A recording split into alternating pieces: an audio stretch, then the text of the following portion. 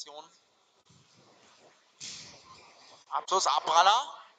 Und aber geht über das Tor. Rainer Tigo. Ja, schöner Treffer gewesen.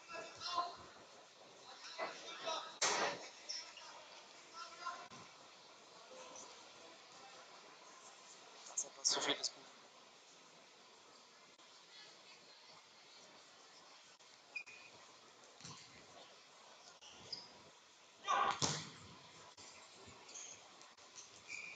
Bielefeld verkauft sich gut hier gegen Hamburg. Ordentliches Spiel und immer wieder torgefährlich, verteidigen das auch leidenschaftlich. Guter erster Auftritt der Armin. Den man jetzt natürlich mindestens mit einem Punkt beglücken möchte. Aber auch da haben wir noch fünf Minuten auf der Uhr. Jetzt wieder der Ball auf den Torwart. Unterschussversuch von Jona Fabisch.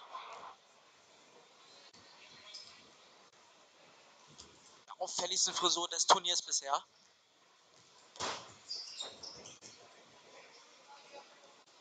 Gefällt hier klassisch im 2-2 mit zwei tiefstehenden Spielern.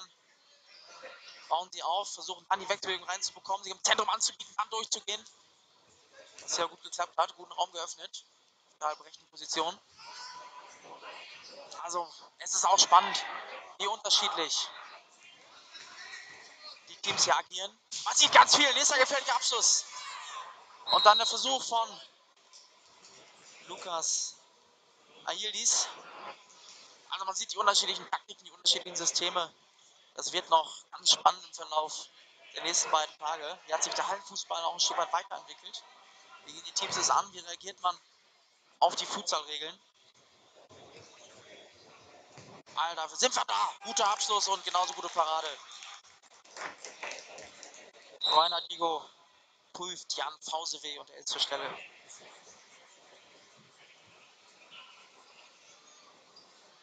Torschütze für die Bielefeld. Jetzt wird die Möglichkeit eines Konters. Wenn der Ball schnell gespielt wird, das ist die Chance und das war eine ganz knappe Kiste hier für Serkan Asin.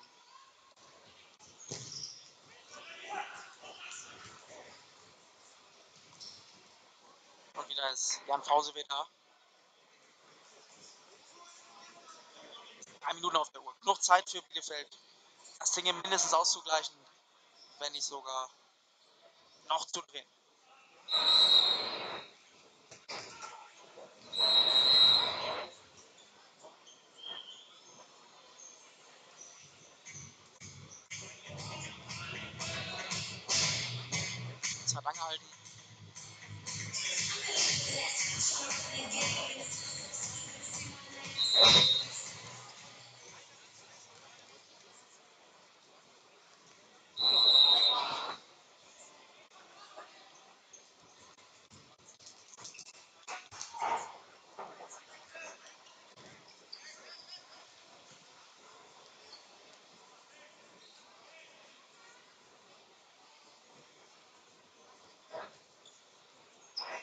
Bielefeld checkt jetzt etwas.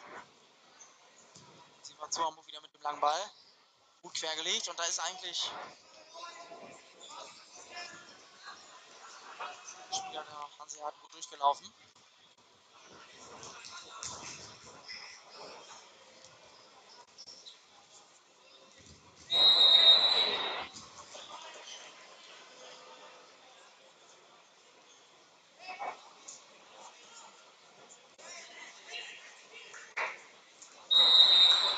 Die vier Abgelaufen.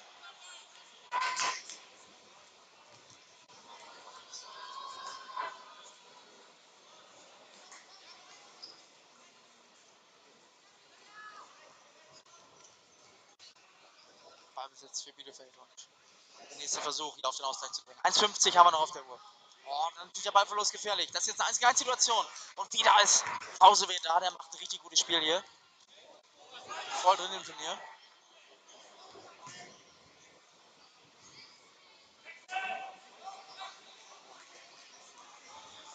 Bielefeld. Hamburg wechselt. Jetzt, wenn es schnell geht. Da kommt sie vorangestürmt hier. Das war klasse gemacht, die Dynamik hier von Rainer Digo. Der kommt da rausgesprintet und ist sofort da.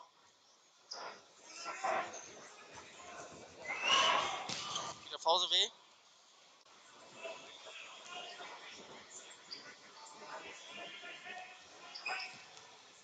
Und das war viel Pass. Und das wird die Entscheidung sein zum 3-1. So ist es. Jona Fabe schließt die Vorlage von Rainer Digo ab. Ah, der Pass war ein bisschen schwach.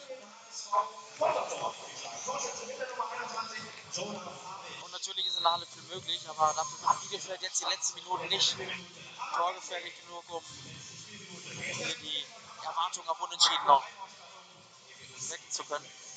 Wo sind die Hamburger? Wo sind die Hamburger?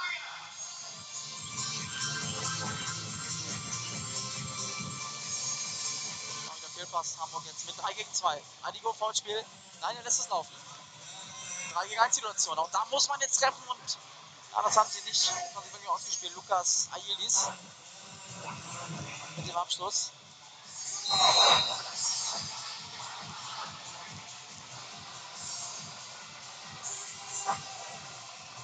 Ganze nochmal quergelegt, aber wieder ein Fuß zwischen. Also. Foulspiel von Siakatemi. An Reinhard Go, der hier schon ganz schön einstecken muss im Verlauf der Partie. Das ist keine unfaire Partie, aber natürlich geht es ordentlich zur Sache.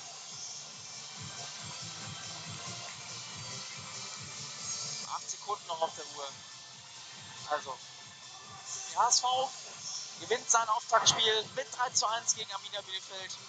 Wir melden uns gleich mit der nächsten Partie im ersten Spiel von Gruppe 2 gibt es also einen Sieg für den Hamburger SV, präsentiert von der Volksbank Lübecker Land und der Volksbank Schnathorst gegen Arminia Bielefeld, präsentiert von der BKK Gildemeister Seidensticker. Für die nächste Partie machen Sie bitte schon mal so langsam fertig. RB Leipzig, präsentiert von LSM Event und Messeservice und der VfB Stuttgart, präsentiert von der Bäckerei Schmidt.